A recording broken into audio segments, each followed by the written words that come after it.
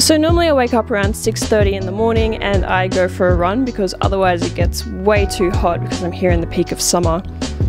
Uh, this is what I'm wearing today, it's not my usual sports top because all my clothes were in the wash.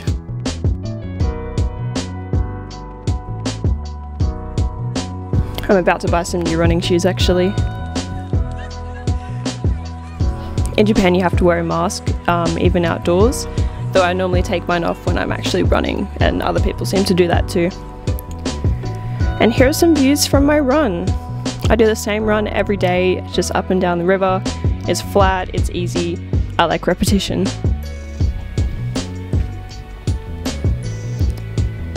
So I've seen lots of these uh, herons. I even saw a snake one time, it was really exciting. Uh, this turtle was really cool. I even saw some kids put a tiny one on a tech deck, it was really awesome. Lots of dogs in hats, uh, a meerkat, and a giant salamander. So that was a really cool thing to see. They only come onto land about once a month. Um, yeah, so rare. I, I was bewildered by this. So just a quick run today because I was running late. And then obviously a quick shower afterwards.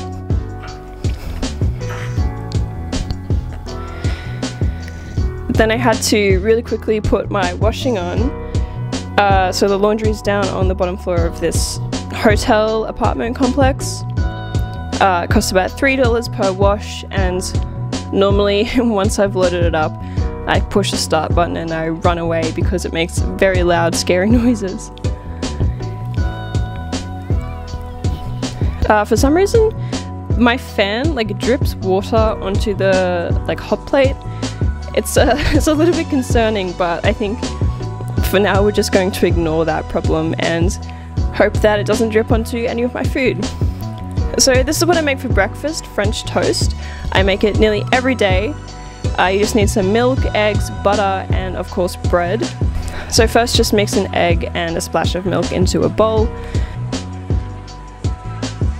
Uh, the bread in Japan is quite different to the bread in Australia. It you buy it in a packet of five slices and it's really big, it's really thickly cut, it's a little bit sweet actually. But it turns out that this is really good for making French toast, so it works well for me. I decided to pour myself a glass of this yogurt drink, I think. Uh, I haven't seen it in Australia, but it's pretty good and supposedly it's good for you. I also wanted to try this uh, coffee mix. Uh, it ended up being really sweet, like like sickeningly sweet, so I won't be I won't be drinking any more of that. But um, it's good to try these things.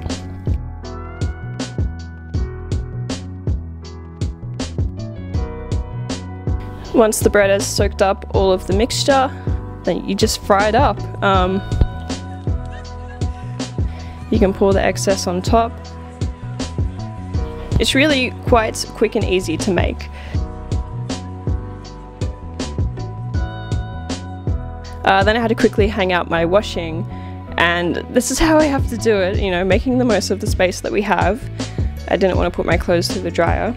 This is what I was wearing today. Usually I have about a 10 minute walk to the bus and then a 20 or 30 minute bus ride and then another short walk and that's how I get to uni every day.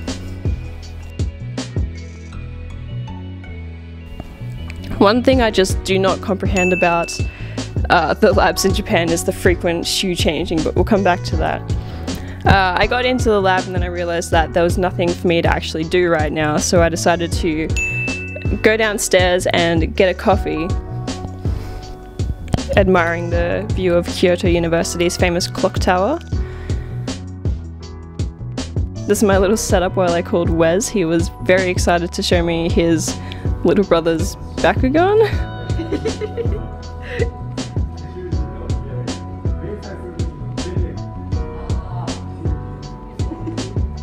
and then it was time to give a presentation about Australia, and this is how it went.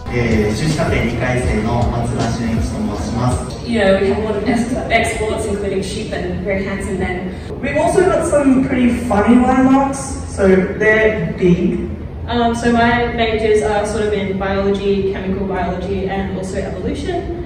Um, in my spare time, I like to photograph wildlife. so in the red, you can see our desert.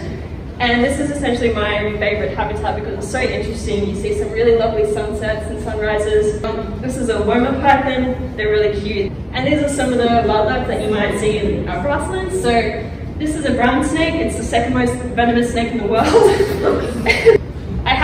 Seen a koala, but apparently they're pretty common. Um, they're not that cool anyway.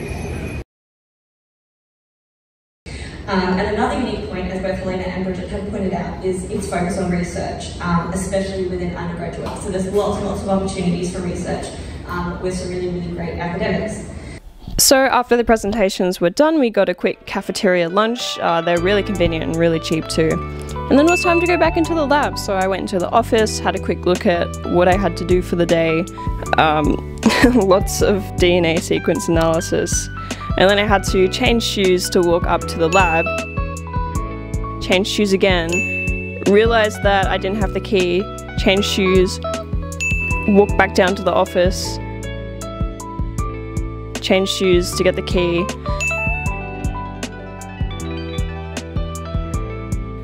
Change shoes again to walk back outside. Change shoes again to get into the lab. And then I could actually do my lab work. And so today I was just making a bunch of growth media for the algae that I'm working on. Basically, I'm just giving it all the nutrients that they need to grow. And then my supervisor is just putting it in the autoclave there to sterilize it. Back down to the office we go. Um, one of my lab mates gifted me a mushroom, which was kind. Then it was time to go home for the day. So after I got off the bus, um, I decided that I actually wanted some French toast again. It was really good. It was still sizzling when it came out. I have pancakes nearly every day, it's been awesome. And then it takes about 10 minutes to walk back to the apartment.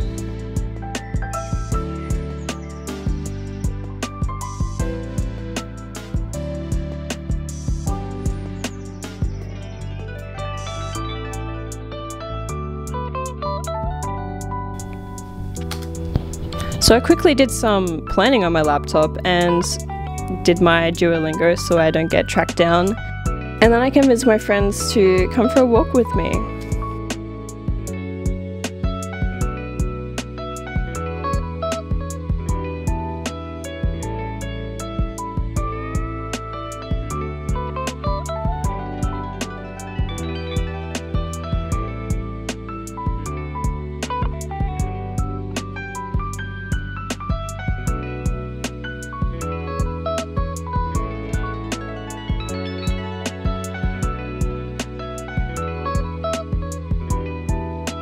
On our way back, we got some takeaway from the shop downstairs while we watched a presentation from the director of our program.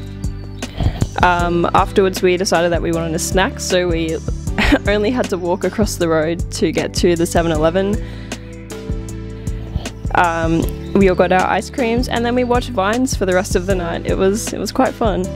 And yeah, so I normally go to bed around 10 or 11, depending on uh, when I plan on waking up exactly. And that's a somewhat regular day in my life here in Kyoto, uh, doing research at Kyoto University. I'm here for two months on a scholarship program. Definitely feel free to message me if you want to learn more about it. And uh, hopefully I'll end up making more videos about it. And that's about it, so I'll see you next time.